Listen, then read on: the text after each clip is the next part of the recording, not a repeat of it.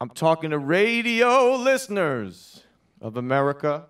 We're going to do something brand new. It's called Dirty Water. I hope you enjoy it.